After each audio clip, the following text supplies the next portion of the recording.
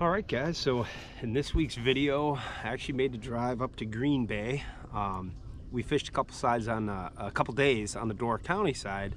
Now we came over to the West Shore. My buddy Brett Alexander uh, told me that, hey, the fish are snapping over here pretty good too. So we decided to come over here, try for some walleyes.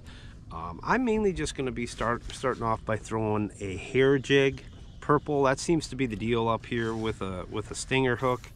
I got that on 10 pound test fluorocarbon, uh, 10 pound test braid, seven foot medium, medium light. I like a medium light for walleyes and hair. And then I've got that paired up on the Carbon X 2000 and 3000 I got a couple reels here. I, I, love the reels here. They got 10 ball bearings. They got a super smooth drag. They work flawlessly in the winter. They work really good in saltwater fishing. I use them a bunch. Uh, you hear me talking about them all the time because I feel this is the best reel on the market right now for your money. You don't believe me?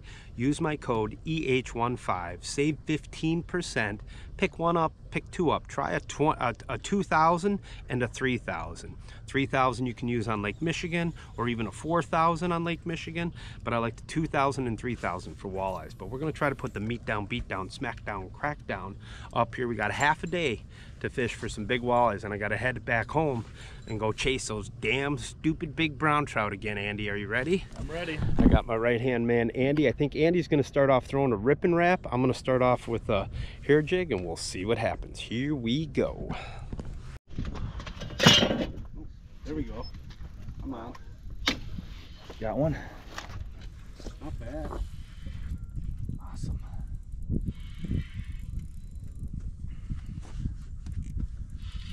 Nice fish. Not a, not a bad way to start off the first day in Green Bay, 2024.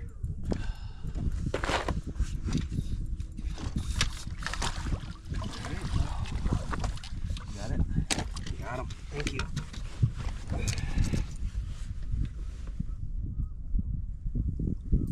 You blind cast that one? Yeah. Can't really see much on live scope. First fish, 2024 Green Bay walleye. There you go. There she is, first one.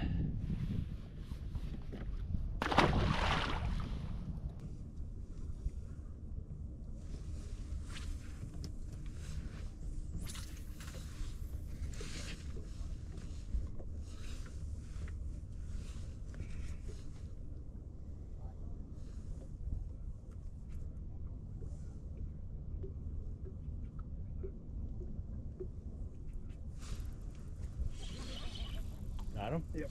There you go. That a boy.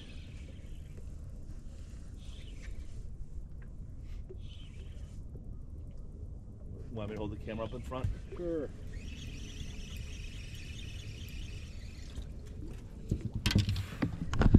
Eric's hooked up again. Number two, guys. The good old Green Bay hair jig. I think these hair jigs started off on the Mississippi River being there. They work good in Green Bay. Oh, another nice one. Not bad, right? Not a giant, but not a bad one.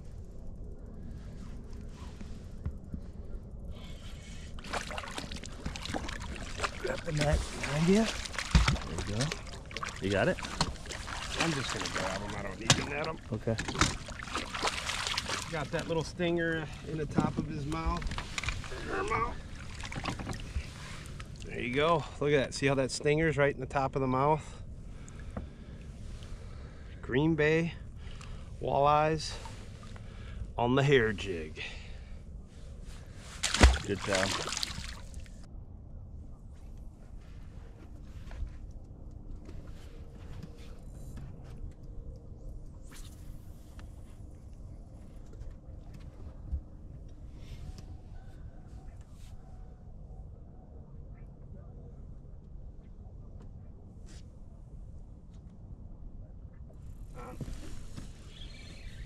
That a boy.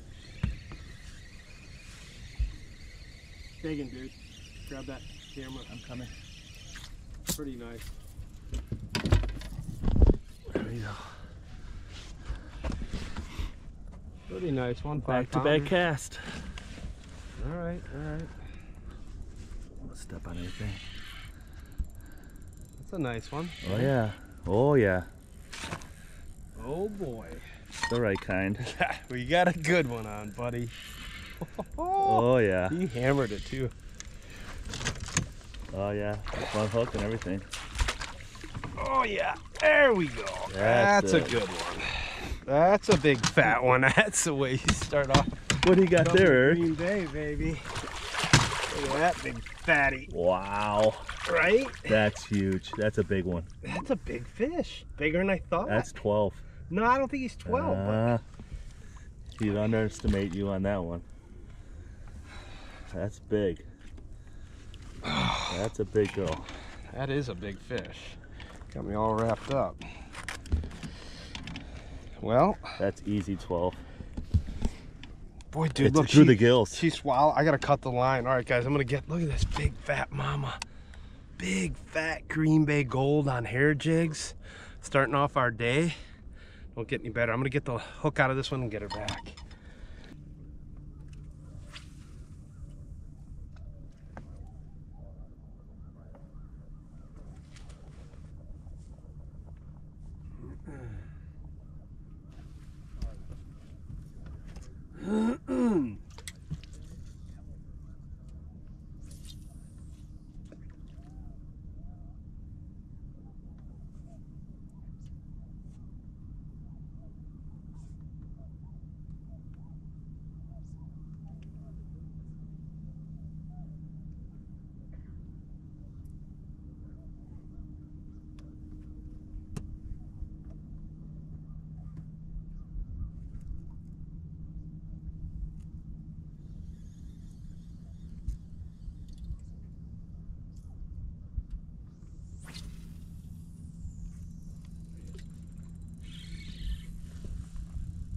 Good one.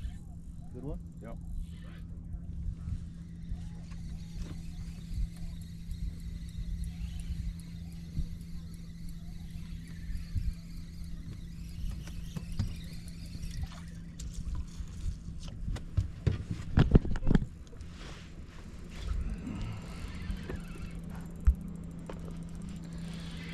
Hooked up again. Not bad one. Fish are nice, dude. Yeah, they're beautiful. Nice fish. Right. You know, we see some guys next to us catching them on uh, Rippin' Raps. That that one right there was just on the hair jig. My buddy Brett Alexander, who's one of the best guides up here in Green Bay, he kind of turned me onto this a few years back. But a lot of fun. You come up here in March, April. The limit for keeping walleyes is one walleye uh, per person. So once you keep your one walleye, you got to stop fishing. But uh, been good. Been out here, I don't know, half hour. It's not a ton of boats. Beautiful day in March. Doesn't get any better than that. The only thing that's going to get a little better is when my man Andy here gets hooked up on a 14.62 pound walleye. That's right. All right, let's go. Next. There he is. Good job. I'm just gonna leave this laying out there.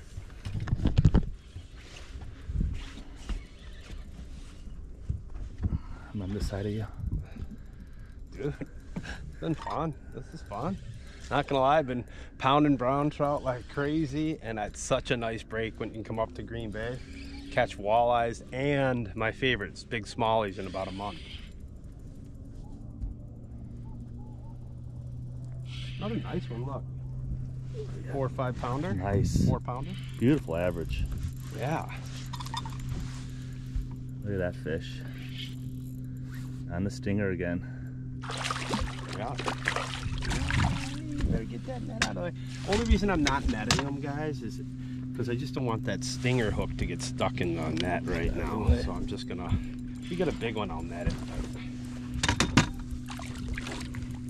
I'd rather just have them come off right here.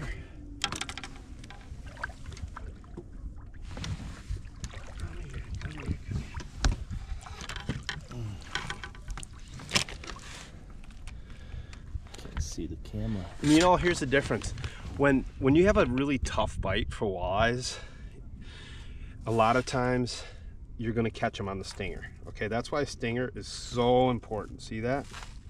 That back little stinger inside of his mouth. Now when a bite is super tough, when the fish are negative, a lot of times they'll nose down on that bait and they won't eat it and you'll rip up and you'll hook them underneath here underneath the chin so but today that stinger's getting them all in the mouth and when they're not chewing you'll see you'll hook them underneath here so when they're not chewing as much it seems like you gotta slow down just little pop pop pop pop and today with the hair jig you know it's a it's it's one of those baits that I've learned when I come up here you really you don't want to overwork it right you throw it out we're in eight to 10 feet of water. You let it hit the bottom.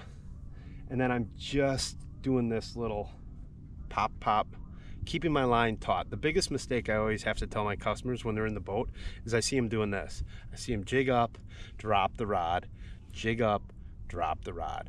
No, what you want to do is keep your rod vertical, do your little pop, pop, and then keep the rod remained in the up position so you can feel that bait touch the bottom because as soon as it touches the bottom or you're dragging it, popping it, you'll feel that little think.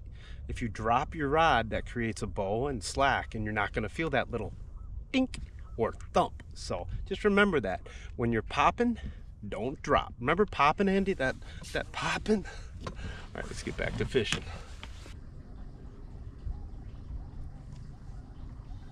Got him. Yes, Andy's on. That was great.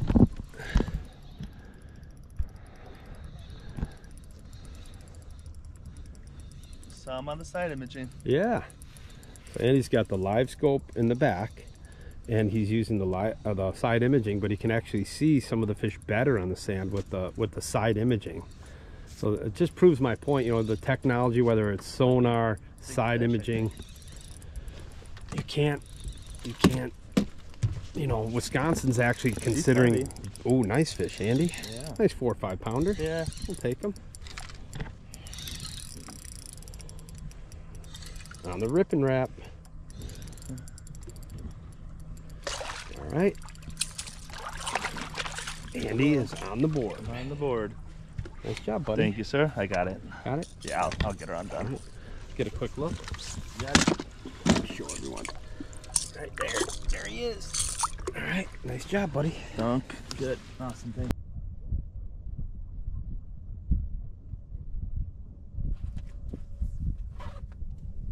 Ooh, missed him.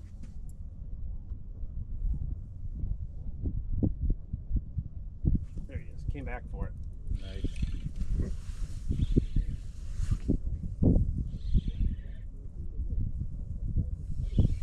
Want me to hold the camera or leave No, it? just keep fishing. I got it, buddy. Thank you.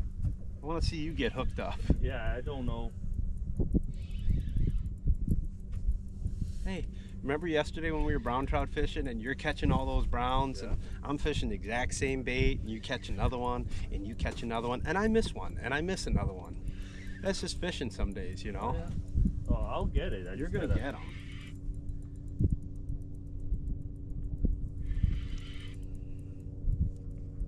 Nice fish. Dude, another nice one. I'm gonna net this one. Yeah, beautiful. Yeah, really nice. That's a nice fish.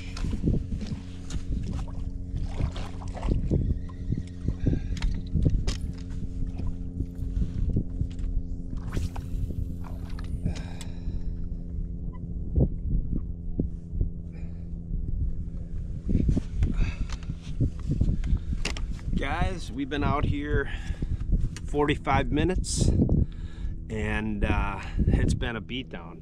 And I got to give a shout out to my man Brett. You know, I'm fishing a different area.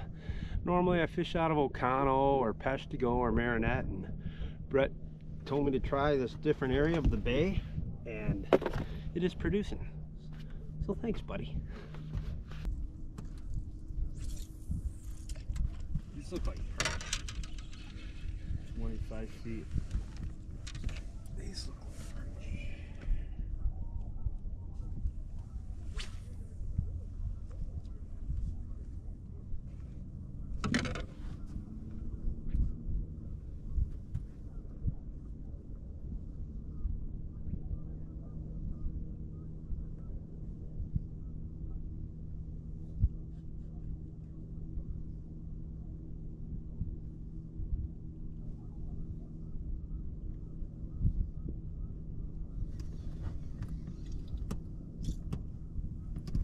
Here you go. Got him? Perchy? I don't know. If it's a perch, it's a giant. On a perch jig though, right? Yeah, four pound test. yeah, giant perch, Andy. Giant perch. there you Oh go. my god. Oh, Dude, they I thought they were perch. They look like perch and look at look at that. Look at this giant perch, dude. Good job. Oh my god. You know, a lot of guys been talking about how great how great the Green Bay perch fishing is. Now I, I saw a small school of fish that looked they were all kind of balled up and they didn't look like walleyes. Guys been talking about how great the perch fishing is here in Green Bay.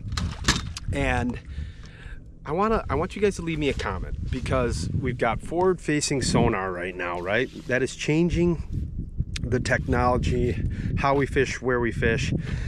Do you think the perch limit and panfish limit in general should just be 10 fish? I'm 100% in favor of that. If we got 10 of those perch, that's 20 fillets for me. If Andy kept his 10, that's 20 for him. That's 40 fillets. The other thing I'm in favor of is a reduction in the bag limit of walleyes. I really think a lot of our lakes are three three walleyes 18 inches and I really feel like Green Bay should also be three walleyes 18 inches or bigger. That what that does is it protects and preserves the resources for the future. So I'm all in favor of a 10 fish panfish limit and a three fish walleye limit across the entire state. I'm in favor of certain lakes for catch and release. I'd even be in favor of certain lakes to have no electronics, no motors, no nothing. So, you know, Andy and I were talking about the live scope just 10, 15 minutes ago, and it was very interesting. We could see when we were idling out more fish on side imaging in this sand than we could with live scope because they're buried laying on the bottom. So whether you've got live scope, side imaging, the best mapping, you know, we still need to you know be advocates of protecting and preserving the resources so leave me a comment let me know what your thoughts are on the panfish and the walleyes Got him. come on up Yeah, you took a bunch of them out there at 80. i don't know if these are walleyes i, I thought these were perch on Jason, but they're probably walleyes that's way too big to be up. nice one or no Nah. Feels like the rest of them. I'm just catching the small ones today. Looks nice. That's a nice fish, dude. Nice fish. Five pounder. I'll net him for you.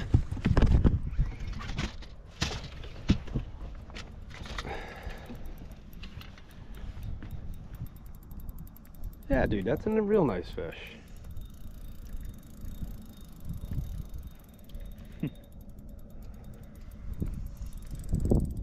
There we go. Nice fat little mama. Nice fish.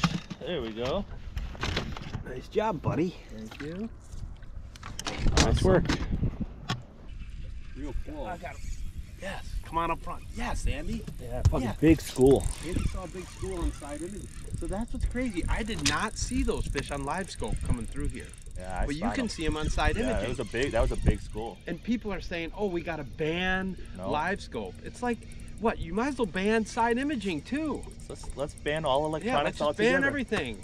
Let's go back to horse and carriage, you know, and, and spear hunting. And uh, what else? We'll, we'll go to cane poles. I think we should start, learn how to crochet. no more buying all our There she clothes. is. Look at that guy. Nice fish, buddy. Nice fish. That was a pile of them there. Good. That's just what's crazy is like, you know, everyone thinks you, you, you're going to see every single fish and catch every fish with live scope, which is not the case. Still gotta be able to catch them. But but side imaging, man, I've told people for years, it's it works really, really good, especially out here in Green Bay, you know, on these flats and stuff, where you're not going to pick these fish up on, on live scope. Here she comes. There we go. Nice job. Nice Yeah. fatty, Nice. isn't it? Yeah. All right, show everyone that fish, and I'm going to keep fishing. Here we go. Right in the snoot.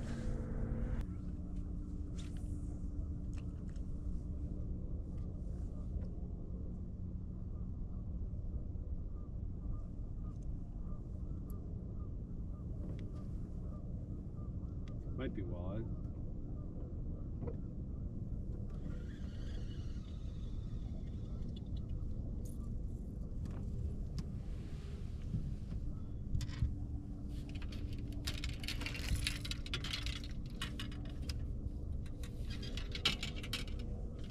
Perch. Oh no, that's a walleye. That's a walleye on the perch rig. I got my perch rod out because I thought I saw a school of uh, perch. But uh, those are walleyes. And I got four pound test on this Andy. Got just a little tiny jig.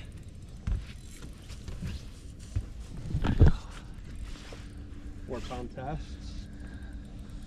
And we got a nice walleye. What do we got? Nice walleye on four pound test. There he comes. Not a giant. There he is. Just a little tiny jig. I'll show you. I'm using a little me tiny grab- jig. The guys, guys that I got him. I'll just grab him. Yeah.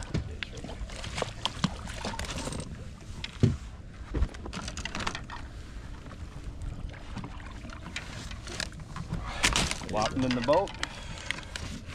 Show you guys. So look, you know, perch season is still open here for a few more days.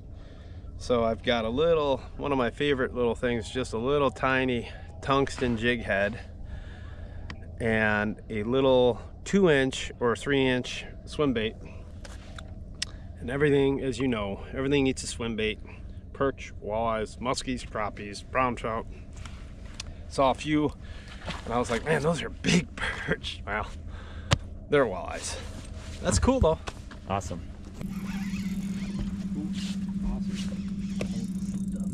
Hey. Hey, Andy's got one on.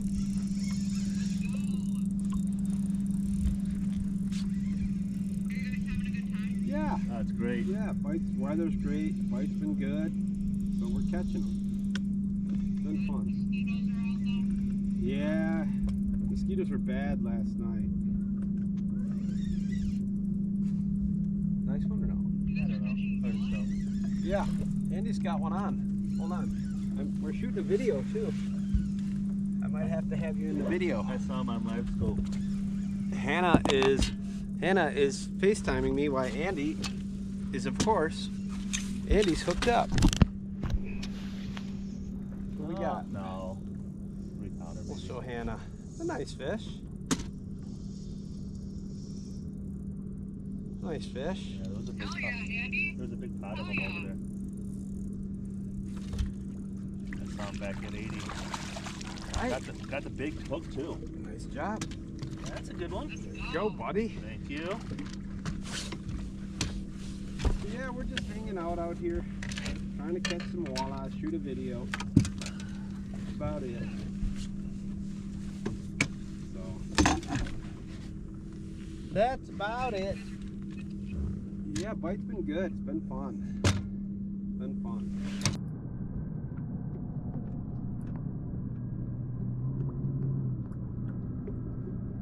There's another one. There you go. It's a good fish here. Want me to net it? I don't. It's just a good one, maybe. Yeah, maybe. Let's go. Yeah, maybe grab that GoPro. Andy. That's a good one. Feels nice. Boy, we struggle, guys. We spent an hour just, just in shallow, just getting our butts kicked. We marked them, we caught them. It's just like, geez, let's just keep going down the shoreline back and forth. And all of a sudden, I bumped us out here into 13 feet of water. Started seeing fish right away, and boom, right away started catching them again. So keep moving. Use your electronics. Stick with the game plan. And the result is a lot of these Green Bay walleyes. I mean, another nice fish, dude. This is a nice fish. Oh yeah, digging. Want that? You got that net for me? Oh, that's a tank. That's a tank. That's a tank. Another Tankersaurus. Let's freaking go. Oh, yeah. Middle of the day on a tough bite. Make a little move. Talk about being rewarded. And I keep telling you guys, look at that stinger hook right in his little melon. Right there. Look at that. That is why you come to Green Bay for big, fat mama walleyes like that. Beautiful. Let's go. I'm gonna get a quick pick, then get this big mama back.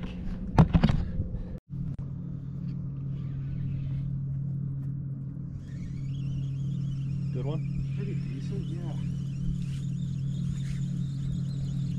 I got it. Just keep Got it?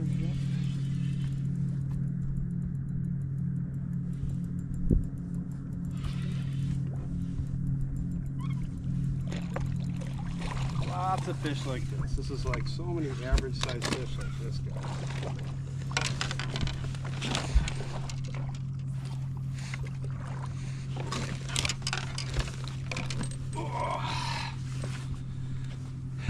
That's it, about a nutshell right there. That hair jig, that nice walleye, and came out here for about a half a day today. Had a nice beat down on them today. Caught some pretty nice big fish. Fished some new different areas. More importantly, I got a nice break fishing with my best friend Andy here, catching some nice walleyes. Put the beat down on them. Gotta thank you, Andy. Yes, sir. Thank you for coming out here with me. Thanks for watching this week's video, guys. Hopefully you learned something. Like, uh, you know, we teach you shallow, mid-range, deep, how to fish in tough conditions, how to troll, how to cast, all that good stuff. If you like our videos, hit that notification button. Be sure to subscribe. And again, thanks for watching. Leave a comment. And uh, that's a wrap for this week's video. See you guys.